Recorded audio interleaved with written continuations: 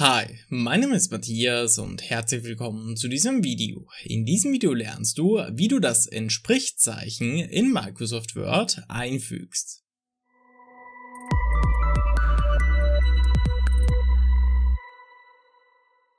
Bevor wir nun mit diesem Video starten, hier noch ein kleiner Hinweis. Wünsche dir zu einem Thema ein Video, so schreib es doch in die Kommentare. Wie du siehst, befinde ich mich in unserem Beispielsdokument in Word. Du kannst dieses Beispielsdokument ebenfalls für Übungszwecke nutzen, den Download-Link findest du in der Videobeschreibung.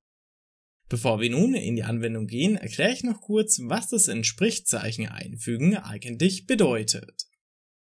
In manchen Fällen benötigt man für ein Dokument das sogenannte Entsprichzeichen, welches ein Gleichheitszeichen mit einem Dach überhalb darstellt. Hier sieht es nun so aus, dass genau dieses Zeichen ein sogenanntes Sonderzeichen ist und man hat hier nun zwei verschiedene Möglichkeiten in Word, um es einzufügen. Gut, wie machst du das nun? Fangen wir an mit der ersten Methode über Symbole.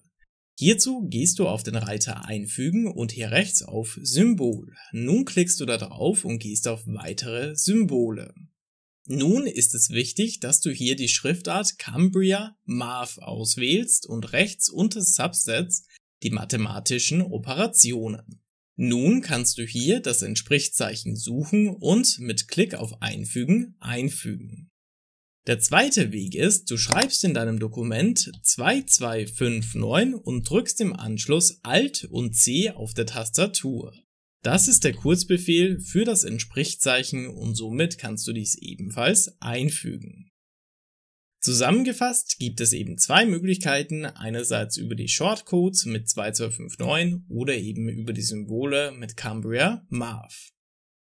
Zum Schluss dieses Videos noch eine kleine Empfehlung meinerseits, und zwar möchtest du dein Microsoft Word Wissen auffrischen oder erweitern, so empfehle ich dir den Microsoft Word Kurs von iLearn. Dort lernst du in aufbauenden Modulen das ganze Wissen rund um das Thema Microsoft Word.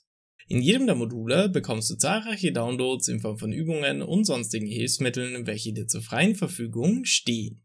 Am Ende des Kurses kannst du dein erlangtes Wissen auf die Probe stellen und dir bei Erfolg dein Microsoft Word Zertifikat für deinen Lebenslauf abholen.